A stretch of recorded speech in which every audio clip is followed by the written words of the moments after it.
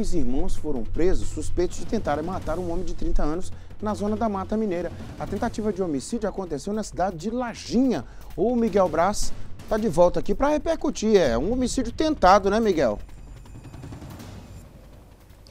Sim, Nico. O crime foi ontem à tarde no bairro Vale do Sol.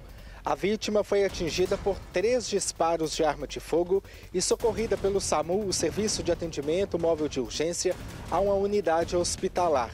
A informação, de acordo com testemunhas, é que os dois irmãos de 25 e 27 anos chegaram de moto e atiraram contra o outro homem. Após a ação criminosa, eles fugiram.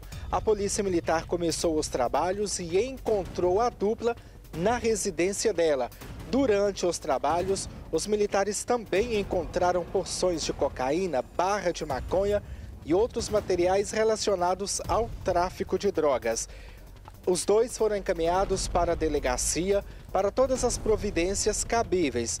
A arma utilizada na tentativa de homicídio e a moto não foram localizadas. No entanto, a motivação para essa tentativa de assassinato ainda está sendo apurada pelas autoridades policiais. Nico. É, obrigado, viu, Miguel, por sua informação. Paz para a Lajinha, gente.